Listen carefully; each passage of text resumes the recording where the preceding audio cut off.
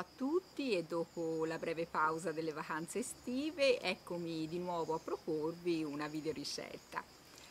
Cecilia tempo fa mi ha chiesto di proporre una ricetta light di biscotti. Mi è venuto in mente di preparare dei biscotti e cereali con dei fiocchi di avena e farina integrale.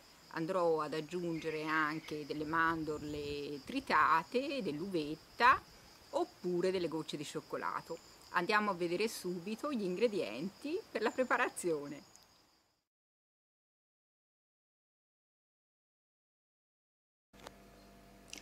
Comincio col preparare l'impasto dei biscotti.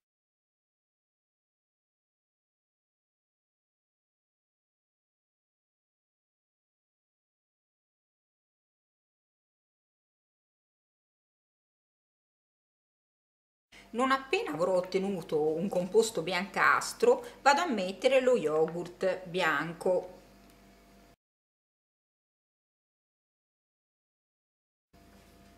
Adesso aggiungo i fiocchi d'avena un po' alla volta mescolando. Fatto ciò aggiungo la farina integrale poco alla volta sempre mescolando appena il composto comincia ad essere più compatto posso anche utilizzare le mani.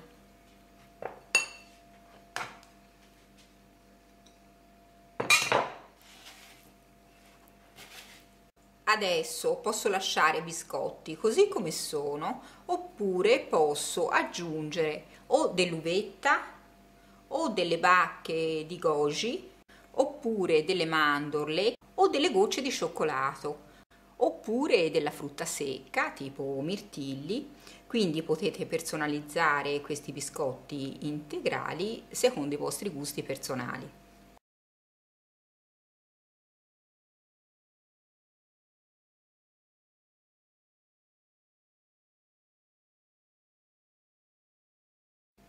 In metà composto vado a mettere dell'uvetta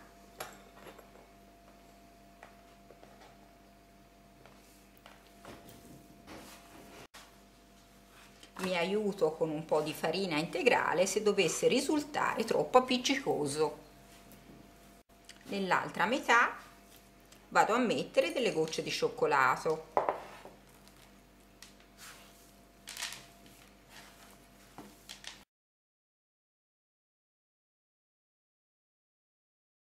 e lo faccio riposare in frigorifero per circa mezz'ora.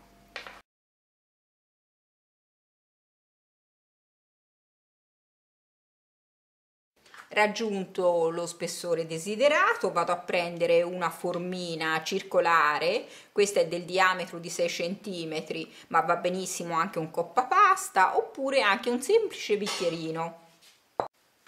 Adesso li faccio con il bicchierino, lo vado ad intingere nella farina integrale e poi formo il biscotto.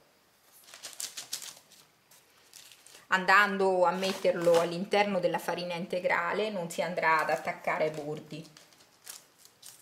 Ho sistemato i biscotti ai cereali in una leccarda da forno rivestita di carta forno li vado ad infornare in forno già caldo a 180 gradi per circa 15 minuti ho tolto i biscotti ai cereali dal forno dopo 20 minuti, li ho fatti tostare un pochino di più perché devono risultare dorati anche in superficie. I biscotti ai cereali sono pronti, si mantengono freschi per giorni, basta tenerli in un contenitore per biscotti eh, ben chiusi. Spero che anche questa ricetta sia stata di vostro gradimento. Un bacio a tutti, alla prossima!